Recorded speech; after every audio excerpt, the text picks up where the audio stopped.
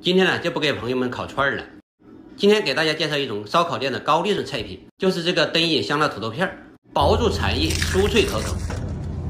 听听这个声音啊，大家都知道酥脆的程度。今天老李就把这个详细做法分享给大家，学会了在家也能做出烧烤店的味道。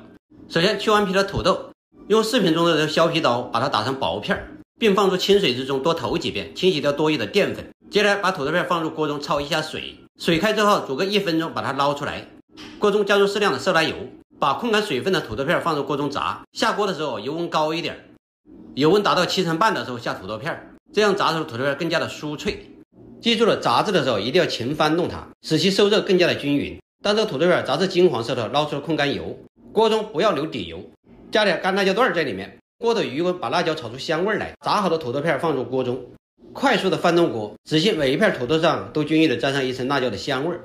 在翻动锅的时候，撒点椒盐在里面，再撒点孜然和芝麻在里面，并且翻动锅呀，使其每一片土豆片都均匀的沾上一层调料。完事之后，再撒点香菜在上面，起到点缀和增香的作用。就这样做的土豆片，一个土豆卖四八，你们就说这个利润高不高吧？并且就这样酥脆的土豆啊，大人孩子都爱吃。就这小味是老必了。想学烧烤别乱跑，关注老李就对了。